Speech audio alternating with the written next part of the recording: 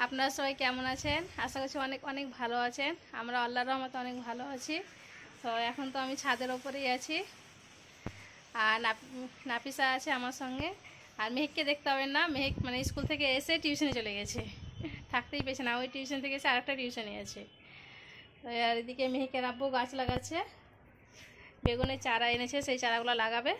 চারাটা লাগা হয়ে যাবে তারপরে এখানে একটা বড় কাঁঠাল আছে কাঁঠালটা ভাঙা হবে দিয়ে মানে কীভাবে সংরক্ষণ করতে হয় সেটাও দেখা আপনাদেরকে। তো প্রথম থেকে শেষ পর্যন্ত ব্লগটা দেখবেন খুব ভালো লাগবে। হ্যাঁ তুই লাগাবি নাকি কিটি? হ্যাঁ? তুই লাগাবি? লাগাতে দিচ্ছে না? এই যে এখানে গাছ লাগাচ্ছে। ওই ক্যারেটগুলো নে সেই ঝিঙ্গা ছিল। হুম। ঝিঙ্গা গাছে অনেকগুলো হয়ে গেছে তার লেগে ঝিঙে দুটো ক্যারেট ফাঁকা করলাম। বেগুন গাছ লাগাবো বেগুন চারা এনেছি বেগুন আর লঙ্কা বুলেট হুম। ছটা বেগুন গাছ আছে তো দুটোতেই হয়ে যাবে। মাটিটা রেডি করে রেখেছি এটা থেকে। আর টমেটো লাউনি তা? টমেটোর এখন তো সিজন আসে না। আর কি কি এই বর্ষার টাইমে লাগাই সেগুলো দিলে না ওই পালং শাক লাগাবো ধনের পাতা। ওগুলো ভিজিয়ে দিয়েছি। ওগুলো চব্বিশ আটচল্লিশ ঘণ্টা এই ধনের পাতাটা আটচল্লিশ ঘণ্টা। আর এটা পালং শাকটা চব্বিশ ঘণ্টা ভিজিয়ে রাখতে হবে। নিয়ে কাপড় দিয়ে মোড়ে রাখতে হবে গরম জায়গাতে। একটু যখন মানে শিকড় বেড়ে যাবে তখন লাগাতে হবে। দিকে লাগাও এখানে টবে একটা আনারস লাগিয়েছে আনারসের গাছ। আনারস এই যে গ্রাফটিং করেছি আম গাছের। স্টোন গ্রাফটিং দেখি। সাকসেসফুল হয়েছে নাকি? আরও সব আছে। এদিকে তো অনেক চারা করেছ আমের। আর আদার যা দাম এবার তার জন্য আদার গাছও লাগিয়েছে এই যে বের হচ্ছে কেবল এখন। সবে ছোটো ছোটো বের হচ্ছে এখন। আর এখানে অনেক গাছ আছে এটা মিষ্টি আলু কচু আর এই সঞ্জু দেশে গোলাপ ফুলটা বেশ অনেক গোলাপ ধরছে। এটা তো নাপিসার গোলাপ গাছ আর একটা মেহেন্দি গাছের চারা। অনেক বড় হয়েছে এটা।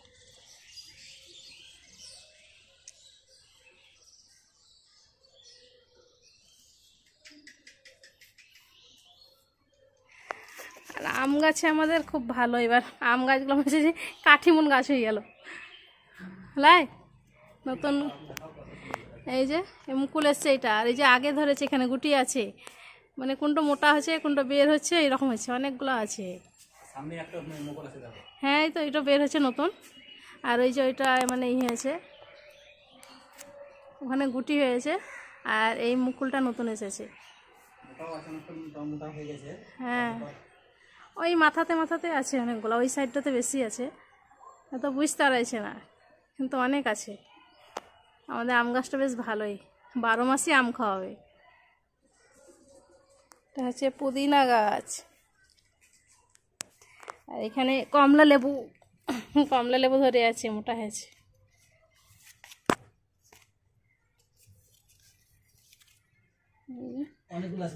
অনেক ধরেছে এখন ছোট বড় ওই যে হচ্ছে বারো মাস অনেক। হ্যাঁ। ছাদে উঠতেই ভালো লাগে গাছ থাকতে গেলে। ছটা বেগুন গাছ ছিল। তাকে তিনটা করে দিলাম। মানে খাড়া খাড়া হয়ে যাবে। আর ছটা লঙ্কা গাছ ছিল তিনটা করে দিয়ে দিলাম। এক জায়গা তত হবে তা হ্যাঁ হয়ে যাবে। ঝাঁকড় হবে। বেগুন গাছ তো দুটো করে দেয় লঙ্কা গাছ দুটো করে দেয়। তা তো আমি ফাঁক ফাঁক করে দিয়েছি। ঝোপ হয়ে যাবে মনে হচ্ছে একসঙ্গে। ঝোপ হলে বেগুন গাছ ঝোপ হবে না। দরকার হলে লঙ্কা গাছ কেটে দেবো আছে। এই ওপর ছাদে উঠিনি এখন। এই যে আমাদের ওপর ছাদে অনেক গাছ আছে আপনাদেরকে দেখিয়েছি। বাতাস দিচ্ছে ছাদে প্রচুর।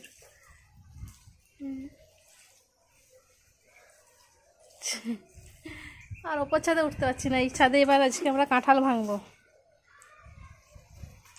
মেহে হ্যাঁ রেডি মেহে গেছি বলব একাই একাই ভেঙে নিয়েছো? বলে দাঁড়ান তো এসে দাঁড়াতেই পাবে না। ওই টিউশন থেকে থাকতে পারে না। না সবসময়। রেসিপিতেও থাকতে পেরেছে না। নাফিসা কাঁঠাল খেতে খুব ভালোবাসে, কবে থেকে বলছে? তা আমার নাফিসাদের নানি বাড়িতে আছে, কিন্তু আনতে যাওয়া হচ্ছে না। মা ডাকছে, তাও যাওয়া হচ্ছে না। তো একটা বাজার থেকে কিনে এনে দিয়েছে, বড় কাঁঠাল।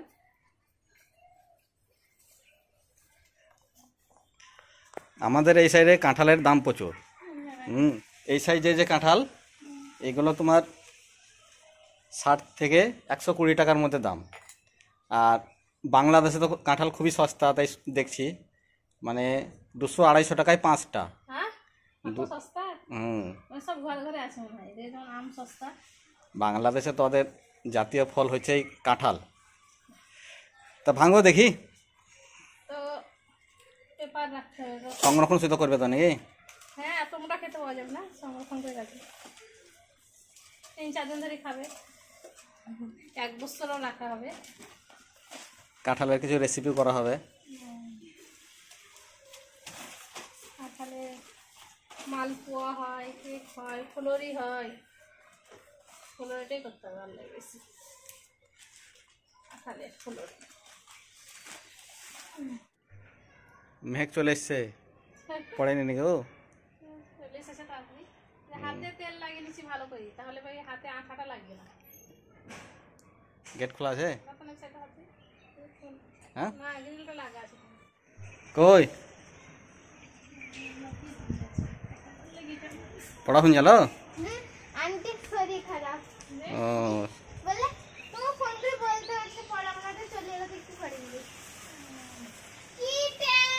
এমন না কাঁঠাল খাবা। আয় চাকু লাগছে লাগবে না কিন্তু আমি গাছে খাব। দিয়ে আমাদের কাকুটা ভালো হয়ে গেছে তাড়াতাড়ি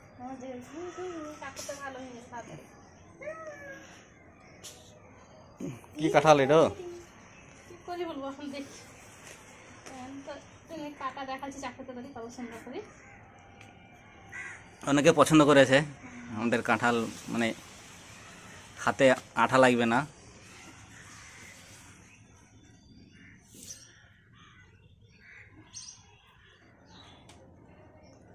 না বেশি দাও খেয়ে দেখো কেমন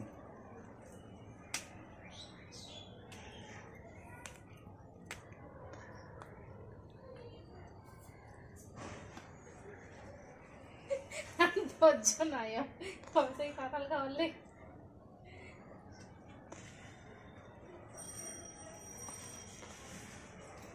মেঘও তো খাই কাঁঠাল কেমন রে?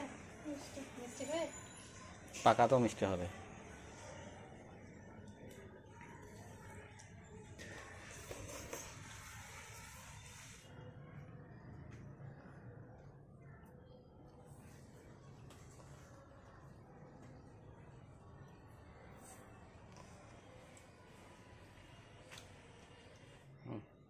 বলছে আমাদের এখানে যেমন আম গা- এই আম আমাদের জাতীয় ফল সবারই ঘরে ঘরে গাছ আছে তাহলে বাংলাদেশে জাতীয় ফল কাঁঠাল তো সবারই ঘরে ঘরে আছে?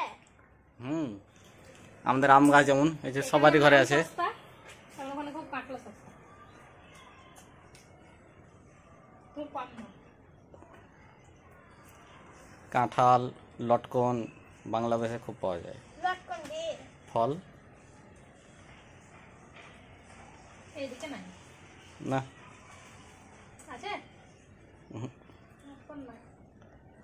চাষ হচ্ছে এখন। তাই ছাড়িন ফেলাই যেমন হয়েছে। হ্যাঁ হ্যাঁ। ওই সাদা পেপারগুলো দেখি সংরক্ষণ করব পেপার লাগতে গেছে সংরক্ষণটা দেখেন দাও। কি ডিপ ফ্রিজে না কিসে ডিপ ফ্রিজে রাখতে হবে। মানে বেশি দিন সংরক্ষণ করতে হলে ডিপ ফ্রিজে রাখতে হবে। যদি দুই একদিনের ভিতরে খাই তাহলে পরে নর্মাল ফ্রিজে রাখলেই হবে। তো প্রথমে একটা সাদা পেপার দিয়ে দিতে হবে। এইভাবে করে একটা একটা করে গুছিয়ে রাখতে।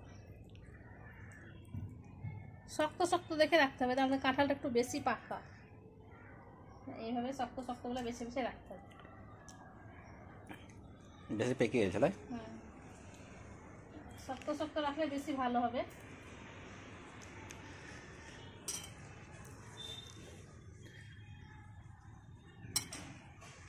মিষ্টি একটু বেশি পেকে গেছে।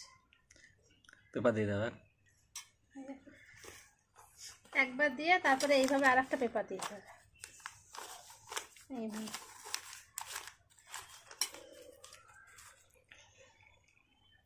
দিয়ে আবার একটা একটা করে এইভাবে রেখে দিই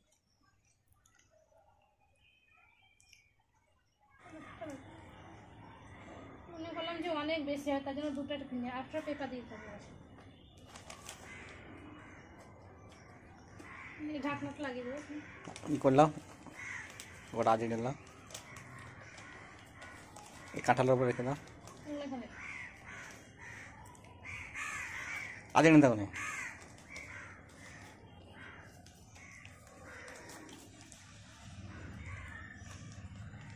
একটা পেপার দেবো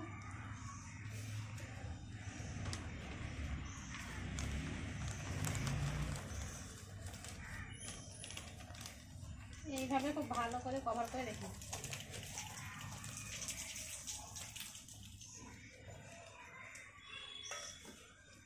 এই, ও শিকার পেয়ে আছে, দেখতে পেয়েছি। তাড়াও তাড়াও ধরো খে মেরে দেবে ও। একবারে রেডি হয়ে আছে। যে এইভাবে করে এটাকে আমি ডিপ ফ্রিজে রেখে দেবো। অনেক দিন পর্যন্ত এটা খেতে পারবেন সহজে নষ্ট হবে না। আর বাকিগুলো যে আছে, ওই ভরলে। পেপার ঠিক আছে ছাড়াও গাছে পানি দিকে।